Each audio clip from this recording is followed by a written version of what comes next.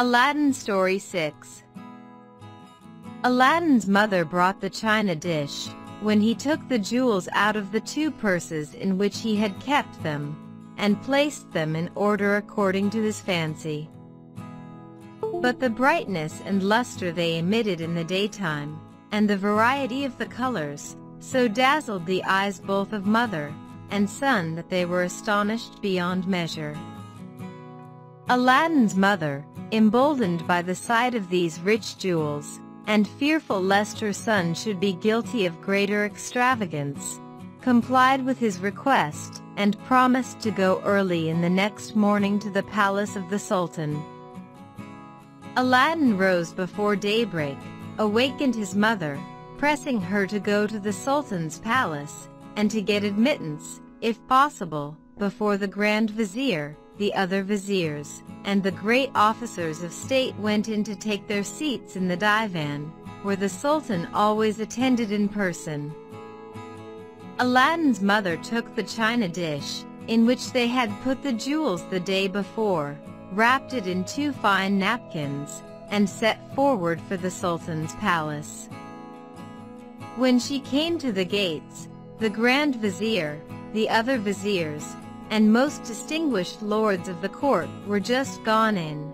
But notwithstanding the crowd of people was great, she got into the divan, a spacious hall, the entrance into which was very magnificent. She placed herself just before the Sultan, Grand Vizier, and the great lords, who sat in council on his right and left hand.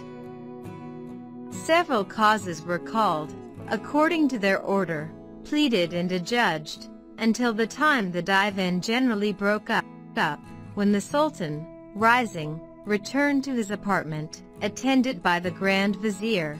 The other viziers and ministers of state then retired, as also did all those whose business had called them thither. Aladdin's mother, seeing the Sultan retire, and all the people depart, judged rightly that he would not sit again that day, and resolved to go home. And on her arrival said, with much simplicity, Son, I have seen the Sultan, and am very well persuaded he has seen me too, for I placed myself just before him. But he was so much taken up with those who attended on all sides of him, that I pitied him and wondered at his patience. At last I believe he was heartily tired, for he rose up suddenly, and would not hear a great many who were ready prepared to speak to him, but went away, at which I was well pleased, for indeed I began to lose all patience, and was extremely fatigued with staying so long. But there is no harm done. I will go again tomorrow. Perhaps the Sultan may not be so busy. The next morning she repaired to the Sultan's palace with the present, as early as the day before, but when she came there she found the gates of the divan shut. She went six times afterward on the days appointed, placed herself always directly before the Sultan, but with as little success as the first morning. On the sixth day, however, after the divan was broken up, when the Sultan returned to his own apartment, he said to his Grand Vizier, I have for some time observed a certain woman, who attends constantly every day that I give audience, with something wrapped up in a napkin. She always stands up from the beginning to the breaking up of the audience, and affects to place herself just before me. If this woman comes to our next audience, do not fail to call her that I may hear what she has to say. The Grand Vizier made answer by lowering his hand, and then lifting it up above his head, signifying his willingness to lose it if he failed.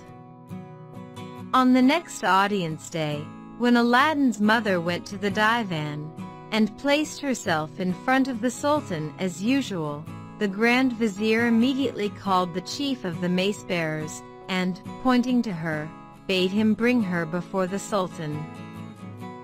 The old woman at once followed the mace-bearer, and when she reached the Sultan, bowed her head down to the carpet which covered the platform of the throne, and remained in that posture till he bade her rise, which she had no sooner done than he said to her, Good woman, I have observed you to stand many days, from the beginning to the rising of the divan. What business brings you here? After these words, Aladdin's mother prostrated herself a second time, and, when she arose, said, Monarch of monarchs I beg of you to pardon the boldness of my petition, and to assure me of your pardon and forgiveness.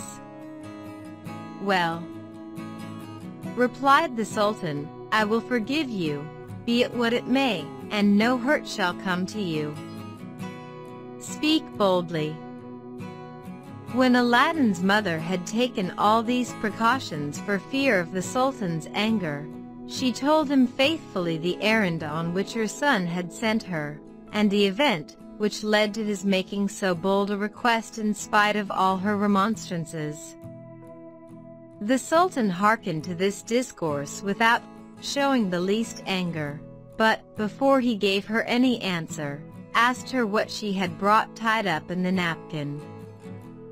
She took the china dish, which she had set down at the foot of the throne, untied it, and presented it to the Sultan. The Sultan's amazement and surprise were inexpressible when he saw so many large, beautiful, and valuable jewels collected in the dish. He remained for some time lost in admiration. At last, when he had recovered himself, he received the present from Aladdin's mother's hand, saying, How rich! How beautiful! After he had admired and handled all the jewels one after another, he turned to his Grand Vizier, and, showing him the dish, said, Behold! Admire! Wonder! And confess that your eyes never beheld jewels so rich and beautiful before. The vizier was charmed. Well, continued the Sultan, what sayest thou to such a present? Is it not worthy of the princess my daughter? And ought I not to bestow her on one who values her at so great a price? I cannot but own, replied the Grand Vizier, that the present is worthy of the princess, but I beg of your majesty to grant me three months before you come to a final resolution. I hope before that time my son, whom you have regarded with your favor, will be able to make a nobler present than this Aladdin, who is an entire stranger to your majesty. The Sultan granted his request, and he said to the old woman, Good woman, go home, and tell your son that I agree to the proposal you have made me, but I cannot marry the princess my daughter for three months. At the expiration of that time come again. Aladdin's mother returned home much more gratified than she had expected, and told her son with much joy the condescending answer she had received from the Sultan's own mouth, and that she was to come to the divan again that day three months. Aladdin thought himself the most happy of all men at hearing this news, and thanked his mother for the pains she had taken in the affair, the good success of which was of so great importance to his peace that he counted every day, week, and even hour as it passed. When two of the three months were past, his mother one evening, having no oil in the house, went out to buy some, and found a general rejoicing to Euro the houses dressed with foliage, silks, and carpeting, and every one striving to show their joy according to their ability. The streets were crowded with officers in habits of ceremony, mounted on horses richly caparisoned, each attended by a great many footmen. Aladdin's mother asked the oil merchant what was the meaning of all this preparation of public festivity. Whence came you, good woman, said he, that you don't know that the Grand Vizier's son is to marry the Princess Buddir al-Buddoor, the Sultan's daughter, tonight. She will presently return from the bath, and these officers whom you see are to assist at the cavalcade to the palace, where the ceremony is to be solemnized. Aladdin's mother on hearing this news ran home very quickly. Child, cried she, you are undone. The Sultan's fine promise will come to naught. This night the Grand Vizier's son is to marry the Princess Buddir al-Buddoor. At this account Aladdin was thunderstruck, and he bethought himself of the lamp, and of the genie who had promised to obey him. And without indulging in idle words against the Sultan, the Vizier, or his son, he determined, if possible, to prevent the marriage. When Aladdin had got into his chamber, he took the lamp, rubbed it in the same place as before, when immediately the genie appeared, and said to him, What wouldst thou have? I am ready to obey thee as thy slave, I and the other slaves of the lamp. Hear me, said Aladdin. Thou hast hitherto obeyed me, but now I am about to impose on thee a harder task. The Sultan's daughter, who was promised me as my bride, is this night married to the son of the Grand Vizier. Bring them both hither to me immediately they retire to their bedchamber. Master, replied the genie, I obey you. Aladdin supped with his mother as was their wont, and then went to his own apartment, and sat up to await the return of the genie, according to his commands.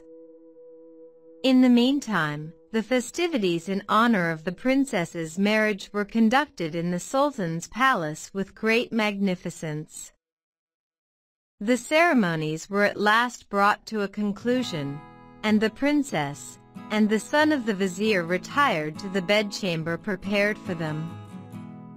No sooner had they entered it and dismissed their attendants than the genie, the faithful slave of the lamp, to the great amazement and alarm of the bride and bridegroom, took up the bed, and, by an agency invisible to them, transported it in an instant into Aladdin's chamber, where he set it down. Remove the bridegroom, said Aladdin to the genie, and keep him a prisoner till tomorrow dawn, and then return with him here.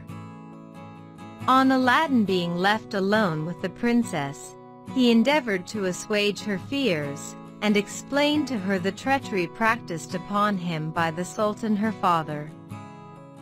He then laid himself down beside her, putting a drawn scimitar between them, to show that he was determined to secure her safety, and to treat her with the utmost possible respect. At break of day the genie appeared at the appointed hour, bringing back the bridegroom, whom, by breathing upon, he had left motionless and entranced at the door of Aladdin's chamber during the night, and, at Aladdin's command, transported the couch with the bride and bridegroom on it, by the same invisible agency, into the palace of the Sultan. At the instant that the genie had set down the couch with the bride and bridegroom in their own chamber, the Sultan came to the door to offer his good wishes to his daughter.